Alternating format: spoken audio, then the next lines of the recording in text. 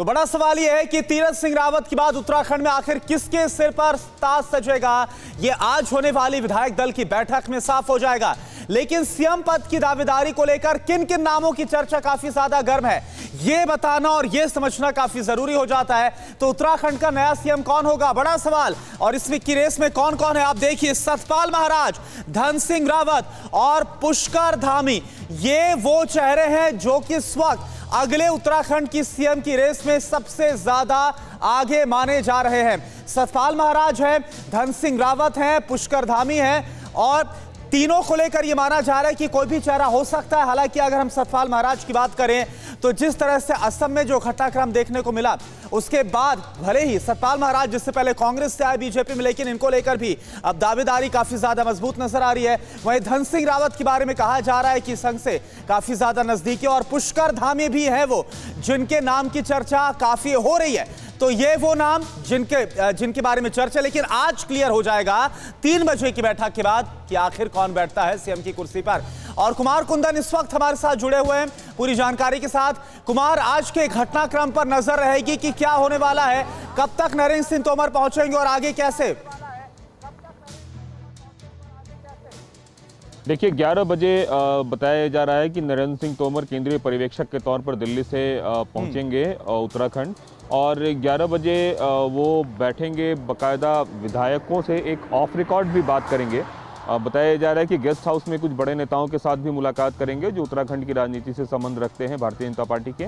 और उसके बाद तीन बजे विधायक दल की बैठक होनी है उत्तराखंड में, जो भारतीय जनता पार्टी दफ्तर में होगी उत्तराखंड में।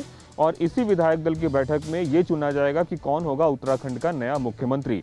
तो निश्चित रूप से एक औपचारिक प्रक्रिया है, जिस प्रक्रिया के तहत ये सारी कार्रवाई होगी। और ये बताया जा रहा है कि जो भी विधायक होगा वही इस बार उत्तराखंड का मुख्यमंत्री होगा क्योंकि तीर्थ सिंह रावत को जिस तरीके से चुना गया था तीरथ सिंह रावत सांसद थे और हम्म। सांसद के बाद जो है उन्हें विधायक बनना था और विधायक बनने की औपचारिकता जो है चुनावी साल होने की वजह से वो पूरी नहीं हो पाई जिसकी वजह से एक संवैधानिक संकट खड़ा हुआ और उन्हें मुख्यमंत्री के पद से हाथ धोना पड़ा है अब ऐसे में नया विधायक उन्हीं को चुना जाएगा जो कि विधायक होगा और इसीलिए विधायक दल की बाकायदा बैठक बुलाई गई है जो बताया जा रहा है कि तीन बजे शुरू होगी और मुझे लगता है कि सवा तीन बजे तक नए ठीक है ठीक है सवा तीन बजे तक जो स्थिति है वो साफ़ होती नज़र आएगी। आपका एक बार फिर से रुक करेंगे लेकिन इन सब के बीच एक और बड़ी जानकारी आपको दे दे और आपको बताते हैं कि तीरथ सिंह रावत को किन वजहों से जाना पड़ा। तो वो वजह जिस वजह से आखिरकार इस्तीफा देना पड़ा। पहली बड़ी वजह तीरथ सिंह रावत अभी विधानसभा के सदस्य नहीं है। बतौर सांसद इनको बनाया गया। मुख्यमंत्री और एक बड़ा संवैधानिक संकट पैदा भी हुआ। अब छह महीने के अंदर सदन का सदस्य बनना ज़रूरी होता है। अगली बड़ी वजह तीरथ सिंह रावत इसी साल 10 मार्च को उत्तराखंड के सीएम बने थे। जैसा हम जानते हैं, तीरथ सिंह रावत 10 सितंबर तक विधायक उन्हें बनना था और संवैधानिक ये बाधा थी तीरथ सिंह रावत के सामने। कोरोना की वजह से चुनाव आयोग उपचुनाव के मूड में नहीं है और अगले साल, क्योंकि वहाँ पर विधानसभा चुनाव भी एक और ये भी बड़ी वजह है।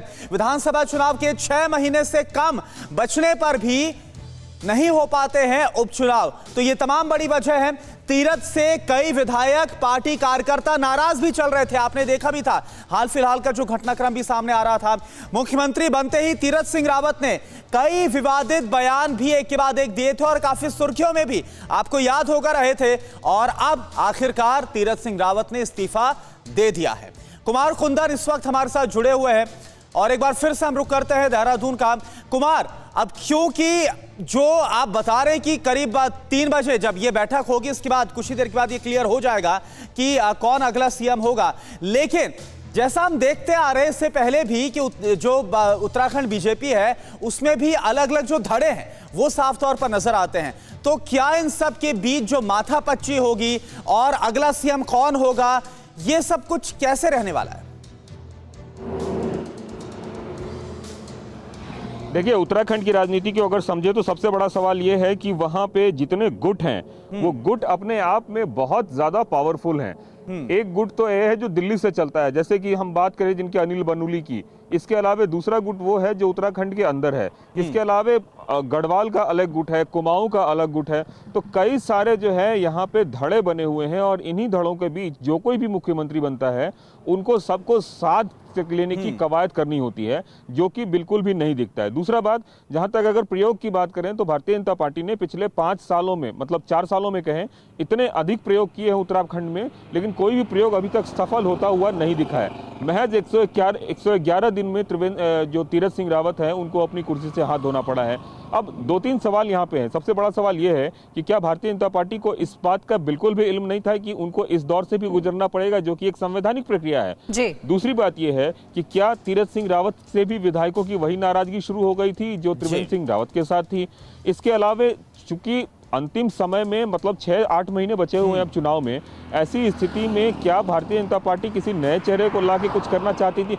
कई सारे ऐसे सवाल हैं जिसका जवाब मुझे लगता है कि तीन बजे के बाद मिलेगा। अड़ी सोमवार से शुक्रवार शाम छह बजे सिर्फ़ टीवी नाइन भारतवर्ष पर।